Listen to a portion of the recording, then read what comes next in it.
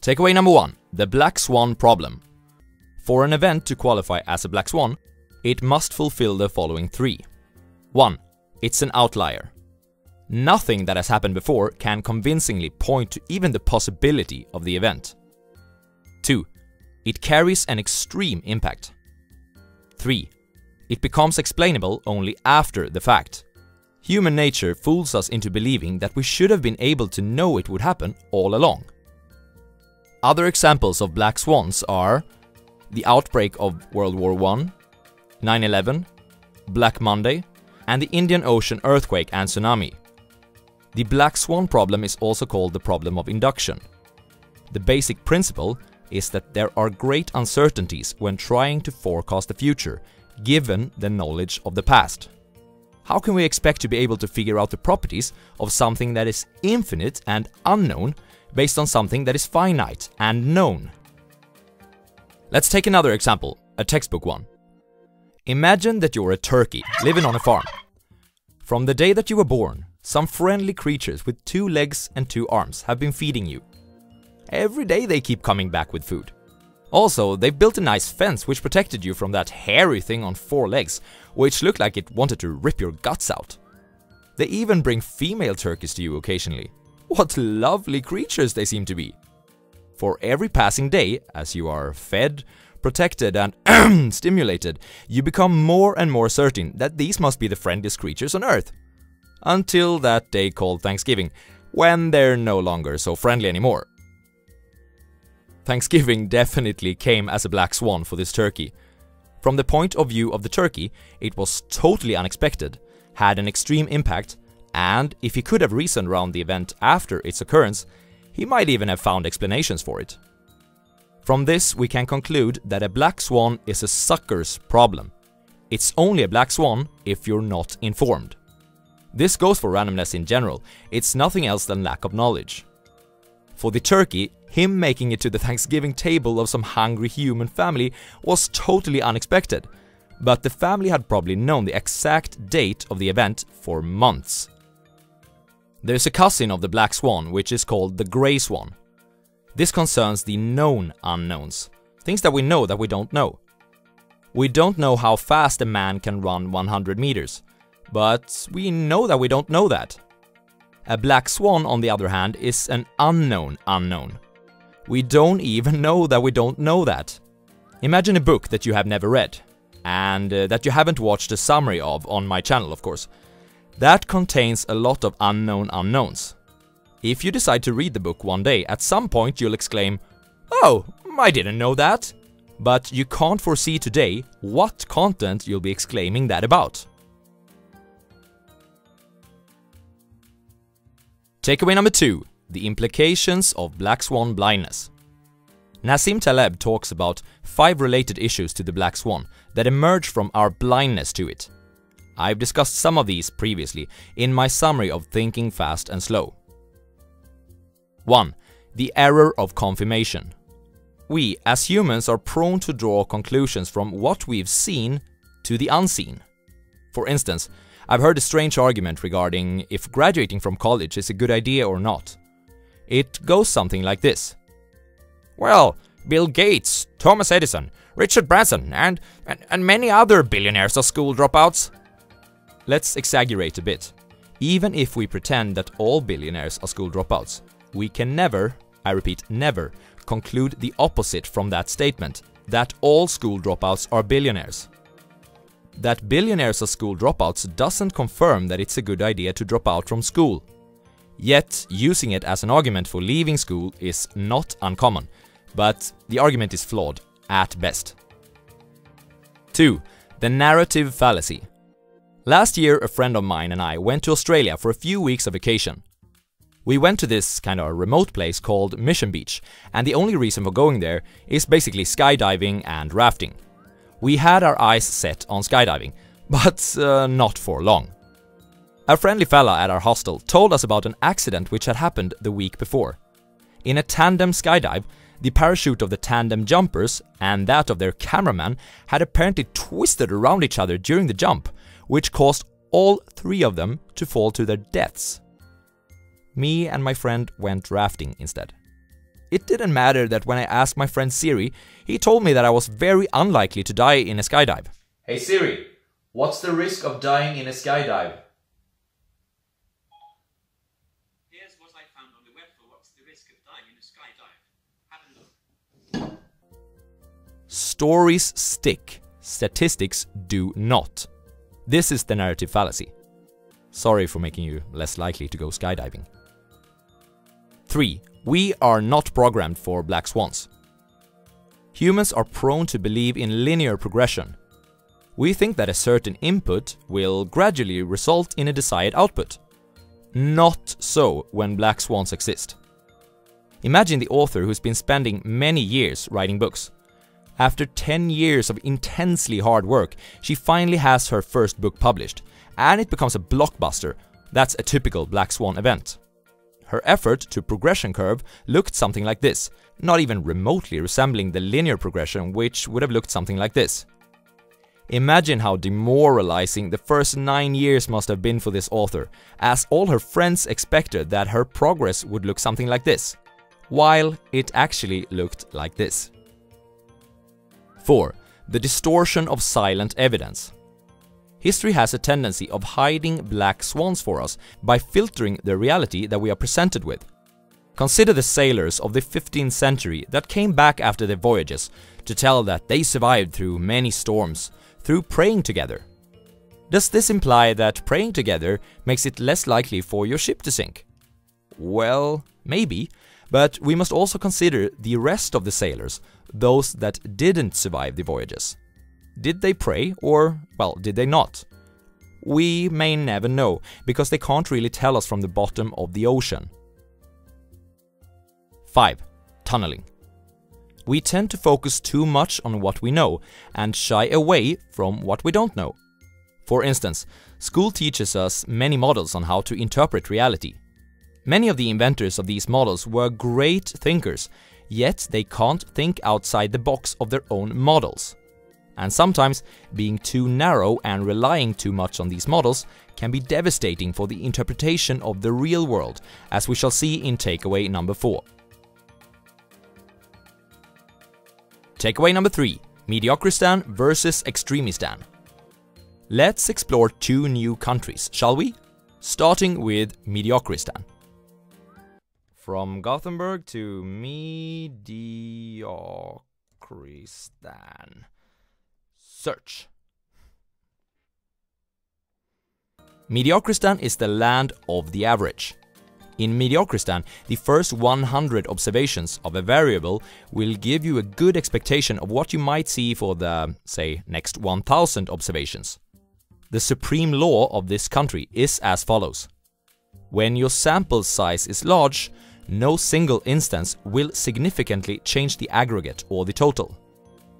For instance, weight, height, mortality rates, car accidents, and the salary of a college graduate uh, in Sweden are all matters that belong to Mediocristan.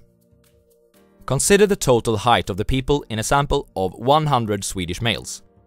Let's pretend that their total length is 182 meters, using 182 centimeters per person, which is the height of the average Swedish male.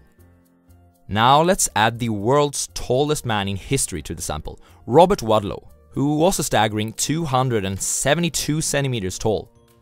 The total length is now 184.7 meters, which is an increase of about 1.5%. Not too radical, right? Now, let's buy a last minute ticket and travel to Extremistan instead. Extremistan. In Extremistan, we introduce black swans. This makes it so that the first 100 observations might not give so much information about the next 1000 ones at all. Remember the life of the turkey. His first 100 days of being fed and protected by humans couldn't really tell him that he was about to become Thanksgiving dinner on the 101st day. Most human-made or social matters belong to Extremistan, such as wealth, income, book sales per author, number of subs per YouTuber, deaths in war, sizes of planets, and of course, financial markets. Consider the total wealth of the people in a sample of 100 Swedes. Let's pretend that their total wealth is uh, $19 million, using $190,000 per person, which is the wealth of the average Swede. Now, let's add Warren Buffett to the sample, who currently has a net worth of $84.2 billion. The total wealth is now $84.22 billion, which is an increase of approximately 443,100%. That's quite the difference. The implications are as follows. In Mediocristan, we can safely do some predictions. In Extremistan, it's much more difficult, maybe even impossible. Problems arise because we seem to think that we are living in Mediocristan, while almost all of the matters that we're trying to forecast are matters of Extremistan. Sometimes we base important functions in our society around these predictions, such as the banking system, and that leads to economic crisis, such as the financial crisis of 2007 to 2008. Takeaway number 4. Gaussian Schmaussian. The bell curve, or the normal distribution, as we refer to it in school, or the Gaussian curve, as we refer to it when we think that we're honoring its original inventor, Carl Friedrich Gauss, is a very common tool used for risk management among regulators and central bankers, among others. Let's talk about what this curve is, first and foremost. Its fundamental property is that data from a given random variable, say height, will hover around the average. For instance, take the example of the Swedish males presented previously. The average height is 182 centimeters. If you look at the likelihood that someone is taller than, say, 189 centimeters, you may see that only 1 out of 6.3 males are taller than 196 centimeters, 1 out of 44, taller than 203 centimeters, 1 out of 740. What's important to notice here is not the actual numbers, but that the same incremental increase in our random variable i.e. height, leads to an even faster decline in its number of observations. You can say that the variable is experiencing ever increasing headwind whenever it tries to deviate from the mean. Now, the normal distribution is awesome when it's applied under the right conditions, which is in Mediocristan. Then, our previous observations can tell a whole lot about potential future ones. It does not work with variables from Extremistan though. For example, if you modeled daily stock market returns as normally distributed, and you were faced with Black Monday of 1987, where the market crashed by 22.6% in a single day, you would have to call this event an outlier. Because according to the normal distribution, it should only happen once in several billion lifetimes. Many investors went bankrupt because they didn't even consider the possibility of something like this happening. It was a black swan to them. So we see that the normal distribution can be limited, nay, dangerous to use for decision making under circumstances when we deal with matters from Extremistan. And remember, this is pretty much all human made social matters. Then the question becomes what can we do instead? We can use something Nassim Taleb calls Mandelbrotian randomness instead of pretending that everything is normally distributed.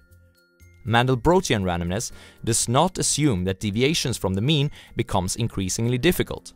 Instead, it suggests that, for instance, if we talk about losses in a single day in the stock market, it's just as rare to see a day resulting in a return of minus 5% instead of minus 2.5%, as it is to see minus 10% rather than minus 5%. Going from minus 1.25 to minus 2.5 to minus 5 to minus 10 to minus 20 are all the same, in terms of probability, I mean.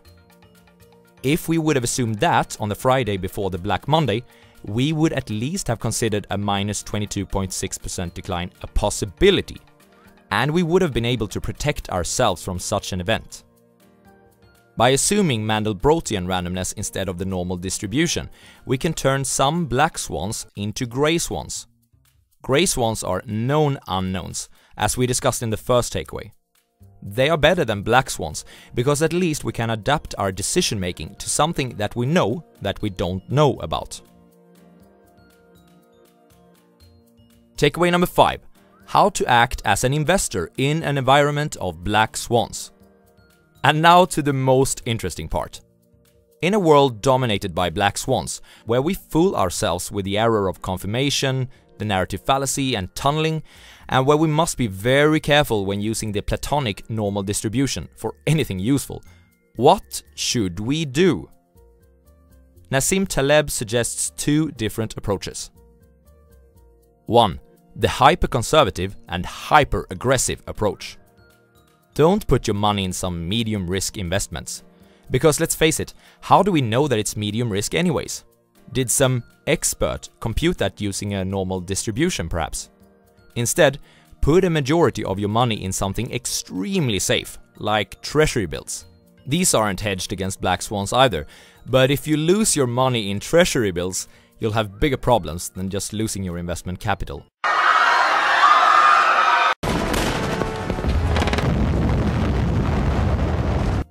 The rest of the money should be put in something extremely speculative, like options or angel investments. With this type of portfolio, you are limited in your risk because of your hyper-conservative investments, but you are also exposed to the possibility of hitting a positive black swan with your hyper-aggressive ones. Nassim Taleb refers to this as a convex combination.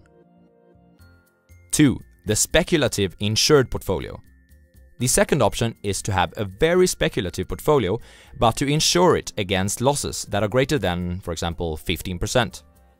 This might not always be possible though, depending on what your portfolio consists of. Instead of using an actual insurance company, you can create this effect yourself by putting up stop losses at minus 15% and taking multiple bets with small parts of your equity. This strategy is also convex, your risk is limited, but your upside is exposed to positive black swans. This is by far the longest video I've made to date, so I think a summary is in place. Humans love to predict, but black swans make the future a little less certain than we'd like to think. From black swan blindness, many other themes arise, like uh, the error of confirmation, the narrative fallacy, silent evidence, and tunneling. We tend to think that we live in Mediocristan, but most of the matters in our society are belongings to Extremistan. We must treat them accordingly. To use Mandelbrotian randomness in favor of the normal distribution can help us in turning some black swans into grey ones. In investing, Nassim Taleb suggests that we should expose ourselves to the possibility of positive black swans and limit our risk by decreasing our exposure to negative ones. Well, that's it for this time. I hope to see you again soon.